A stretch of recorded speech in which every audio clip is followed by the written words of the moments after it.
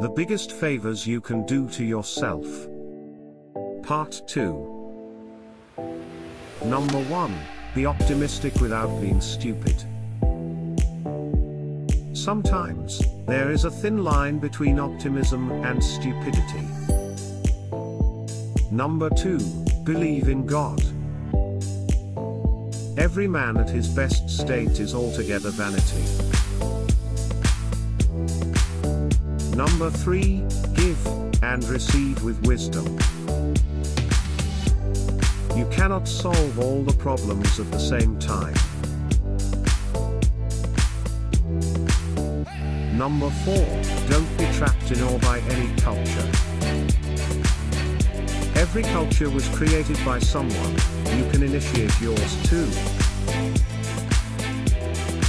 Number 5. Break off from guilt trip. Never feel guilty for another person's predicament or outcome that you are not responsible for. Number 6. Embrace self-compassion.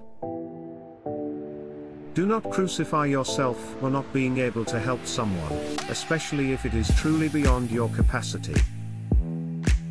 Number 7. Compliment and commiserate moderately. Rejoice and sympathize with people, but don't overdo it, otherwise, they will think you have ulterior motives. Number 8. Appreciate what you have when you have it. Many would do anything possible to be in your position.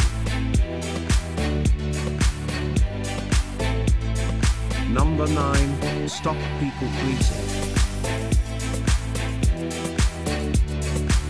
Don't make others happy at the expense of your peace, it doesn't always end well. Number 10. Be grateful to everyone who has helped. This includes your parents, teachers, friends, recommenders, etc. You may never know what they saved you from. Thank you for watching. Remember to like, subscribe and share.